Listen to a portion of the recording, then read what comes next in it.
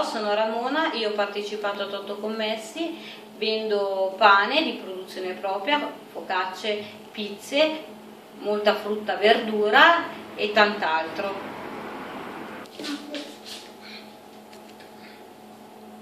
Sì.